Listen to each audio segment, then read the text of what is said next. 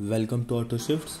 आज हम बात करने वाले हैं एम जी एस्टर और होंडा क्रेटा के बेस वेरिएंट की, जिसमें हम एक छोटा सा कंपैरिजन करेंगे इंजन का इंजन को लेके फ्यूल कैपेसिटी को लेके सस्पेंशन फीचर्स को लेके। तो पहले स्टार्ट करते हैं एम जी की एस्टर से। एस्टर में आपको स्टाइल बेस वेरिएंट देखने को मिलता है और होंडा क्रेटा में आपको ई वेरिएंट देखने को मिलता है। सबसे बड़ा जो दोनों में डिफरेंस आता है, वो आता है आपका तो क्रेटा में आपको इंफोटेनमेंट ऑफ़र नहीं किया जाता बट एस्टर में आपको 10 इंच का इंफोटेनमेंट प्लस एक छोटी एम ऑफ़र करी जाती है। और डिफरेंस की बात करें की बात करें तो दोनों में आपको बेस वेरिएंट जो है वो 1.5 लीटर का पेट्रोल इंजन मिलता है।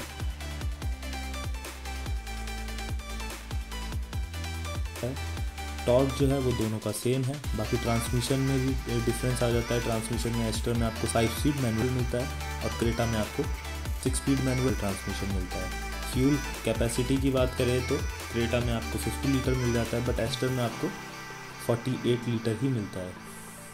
बाकी सेफ्टी में बात करें तो सेफ्टी में आपको, दोनों में आपको बेसिक सेफ्टी फीचर्स मिल जाते हैं बट सबसे बड़ा जो डिफरेंस एस्टर और क्रेटा के बेस वेरिएंट में आपको देखने को मिलेगा कि एस्टर में आपको चारों टायर्स में डिस्क ब्रेक आपको मिल जाती है देखने के लिए बट होंडाई क्रेटा के बेस वेरिएंट में आपको डिस्क ब्रेक नहीं मिलती है। डिस्क ब्रेक आपको सिर्फ़ फ्रंट के टायर्स में ही मिलती है। बाकी टायर साइज़ दोनों का आपका सेम रहता है 16 इंच का। स्टेयरिंग की बात करें तो एस्टर में आपको इलेक्ट्रॉनिक स्टेयरिंग मिल जाती है और क्रेटा में आपको पावर स्टेयरिंग ही मिलती है।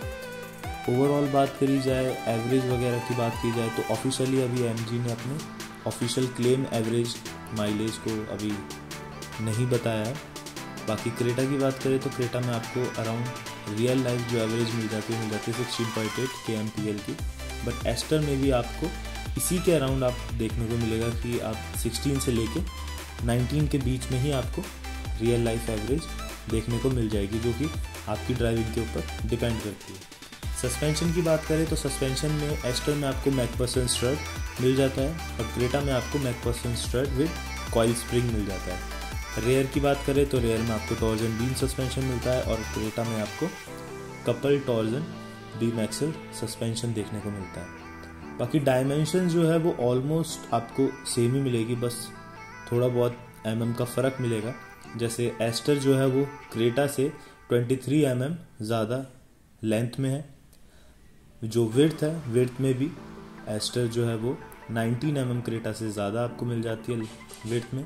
हाइट में भी 15 एम mm ज़्यादा मिल जाती है बट व्हील बेस की बात करें तो व्हील बेस में क्रेटा आपको ज़्यादा बड़ा व्हील बेस प्रोवाइड करती है और एस्टर थोड़ा सा ट्वेंटी फाइव एम के अराउंड आपको कम व्हील बेस इसमें मिलता है।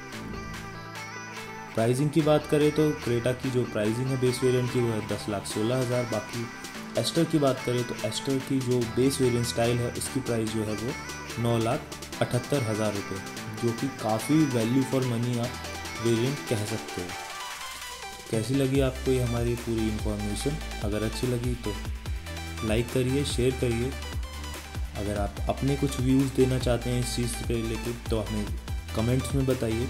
और अगर चैनल पर नए हैं तो सब्सक्राइब ज़रूर कीजिएगा।